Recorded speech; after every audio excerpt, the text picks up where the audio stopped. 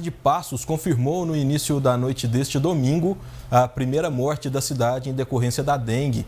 Janice Maia Matar estava internada na unidade e não resistiu às complicações da doença.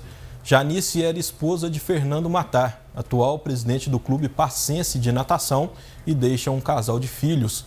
Passos vive um surto de dengue com mais de 2,6 mil casos já confirmados da doença.